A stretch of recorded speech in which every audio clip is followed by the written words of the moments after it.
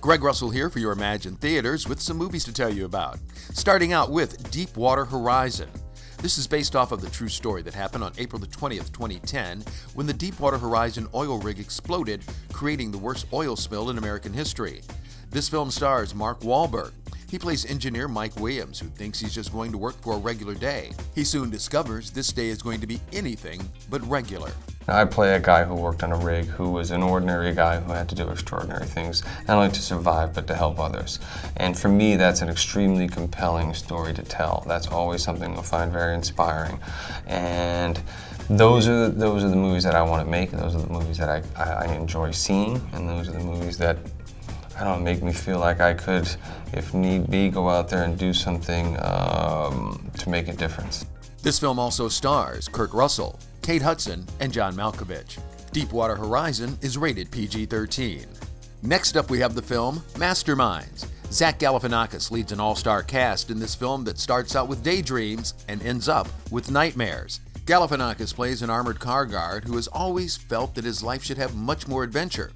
Well, the adventure starts when he meets Kelly, played by Kristen Wiig.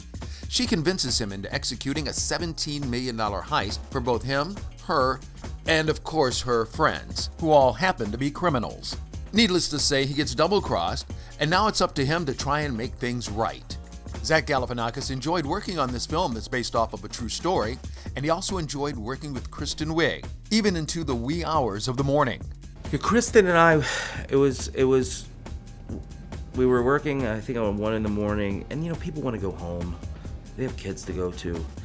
Kristen and I got the giggles like you do if you attend a church where you're not supposed. It is the greatest thing, and I'm 44, and I shouldn't. It's unprofessional to laugh at one in the morning with you know the other actor, and I was trying to play the um, disciplinarian, and I tried to say to Kristen, Kristen, it's one in the morning. Try to be professional to make it look like it was her fault, but I couldn't stop laughing while I said it, so it totally messed everything up. This film also stars Owen Wilson, Jason Sudeikis, Kate McKinnon, and Leslie Jones. Masterminds is rated PG 13. Another film for you to check out is Miss Peregrine's Home for Peculiar Children. This is the story of Jacob, played by Asa Butterfield, who always felt like an outcast. He soon discovers Miss Peregrine's Home for Peculiar Children. It's a place that spans different worlds and times. He also finds other children there just like him, all with some type of special power.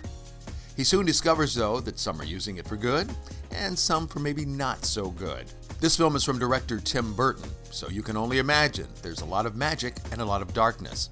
Something that drew Eva Green, aka Miss Peregrine, to the role.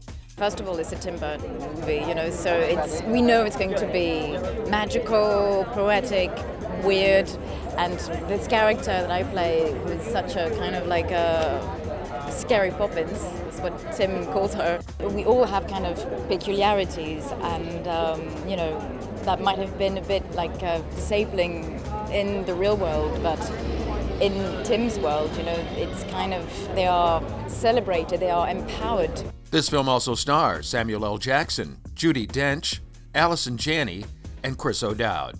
Miss Peregrine's Home for Peculiar Children is rated PG 13. That's it for now. Remember, come out and join us for a movie. For your Emagine Theaters, I'm Greg Russell.